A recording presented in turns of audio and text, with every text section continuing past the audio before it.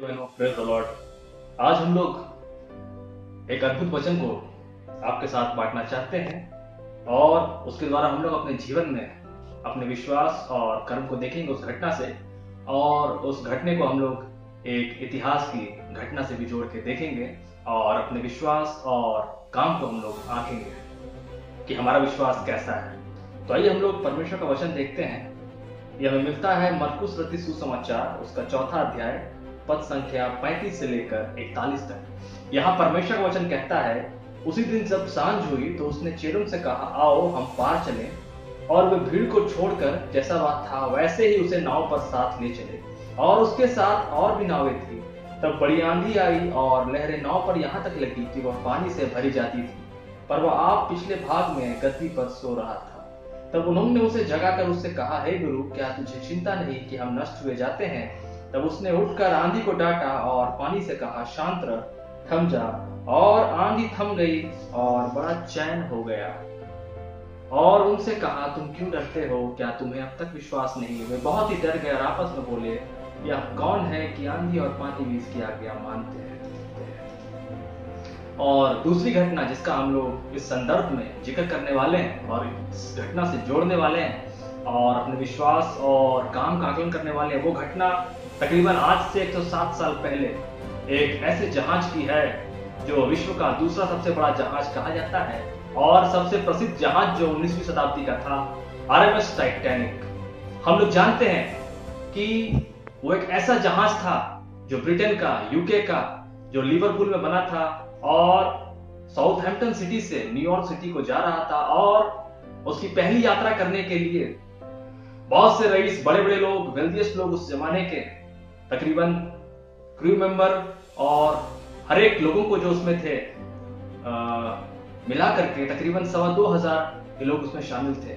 और हम लोग देखते हैं कि तकरीबन डेढ़ हज़ार लोग जब दुर्घटना होती है टाइटैनिक अपने पहली यात्रा के दौरान तो वो मारे गए उस पानी में डूबने के कारण। और जो टाइटैनिक है लोग कहते हैं जो उनके गवाह बचे कि टाइटैनिक टूट गया था वो एक आइस बर्फ़ से टकरा गया था। और 10 अप्रैल 1912 को वो सफ़र पे निकला था और 14 अप्रैल की रात को लगभग ग्यारह बज के चालीस मिनट पर वो एक आइस बर्फ़ से टकराता है और उसके दो घंटा के 40 मिनट बाद वो डूब जाता है। तो इस दुखद घटना से हम लोग देखते हैं और कि यदि हम लोग विश्वास नहीं रखते हैं तो नाव डूब जाती है। यदि हम लोग विश्वास नहीं रखते हैं तो बड़े बड़े जहाज़ डूब जाते हैं। यदि हम लोग विश्वास नहीं रखते हैं तो बड़े बड़े धनी लोग डूब जाते हैं। जिन्होंने अपना बहुत सारा धन उस जहाज़ में सफ़र करने के लिए लगाया था यूके का बड़ा जहाज़ साउथहैम्पटन से जो न्यूयॉर्क सिटी जा रहा था, और जो लिवरपूल में बना था। और हम लोग देखते हैं इस घटना में जब यीशु अपने चेलों के साथ है, जब साँझ होती है, यीशु जानता था वो क्या करेगा। अपने चेलों को कहता है कि आओ, हम नाव के से इस पार चलते हैं। और वो पीछे, नाव के पीछे तरफ़ सो गया। और बड़ी आंधी आई है, परमेश्वर की तरफ़ से उनके विश्वास को परखने के लिए, विश्वास का आकलन करने के लिए, उनको विश्वास का आईना दिखाने के लिए एक आईना था। परमेश्वर की तरफ़ से सुनियोजित था तो हम लोग देखते हैं, जब आंधी आती है, लहरें नाव पर टकराने लगती है, कि नाव पानी से भरने लगती है और चेले डरने लगते हैं। उनका विश्वास जाने लगता है और वो अपने गुरु ऋषि को खोजते हैं और जब उसे पीछे सोता हुआ जानकर जगाने जाते हैं और जब यीशु उठता है तो वो कहता है, आंधी को थम जा शांत रह और आंधी और तूफ़ान एकाएक थम जाती है।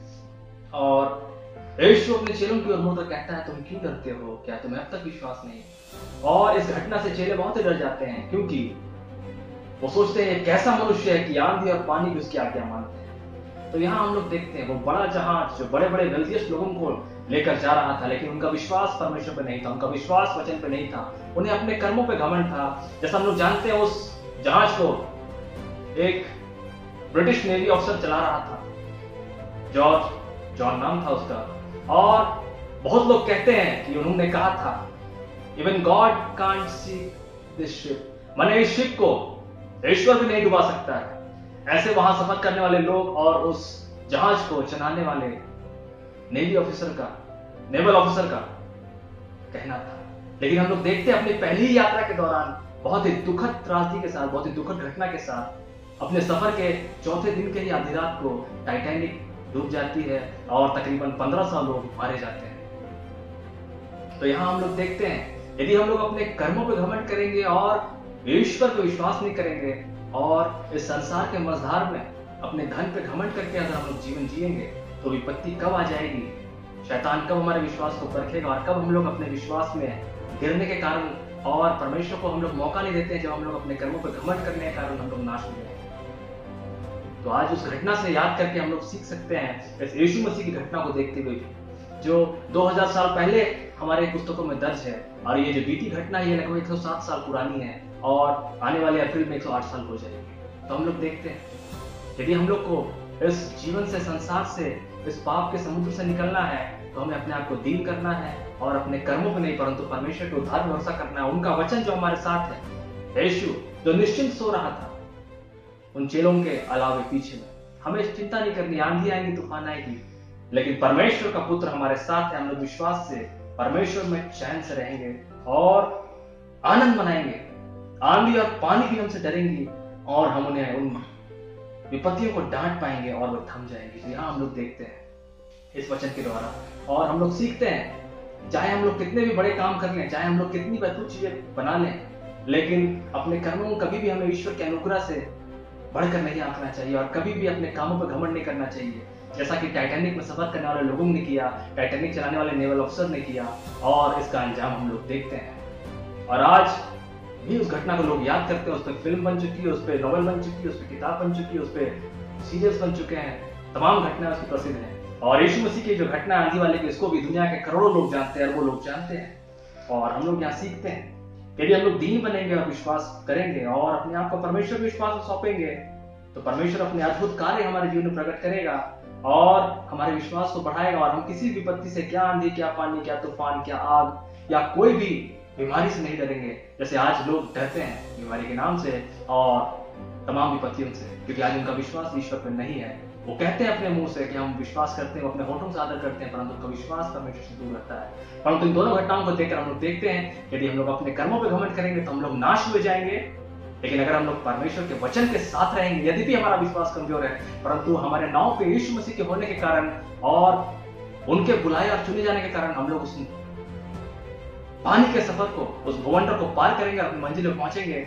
और वो आंधी और तूफ़ान, हर एक बीमारी और हर एक रोग और हर एक तकलीफ़, हर एक विपत्ति थम जाएगी और हम सकुशल इस जीवन से, क्रूस मृत्यु से पुनरुत्थान तक अनंत जीवन को प्रवेश करेंगे। तो हर एक सुनने वाला इस वीडियो की तरह आश्रित होने पाए और हम आशा करते हैं कि आप लोगों को ये वीडियो बहुत अच्छा लगा और आप आगे भी हमारा चैनल देखते रहेगा और लॉर्ड और सारी महिमा अपने परिवार के साथ, अपने दोस्तों के साथ शेयर कीजिएगा और सारी महिमा परमेश्वर हवा उसके पुत्र प्रभु यीशु मसीह, और पवित्र आत्मा को दीजिएगा। हर एक को बहुत बहुत धन्यवाद परमेश्वर आमीन।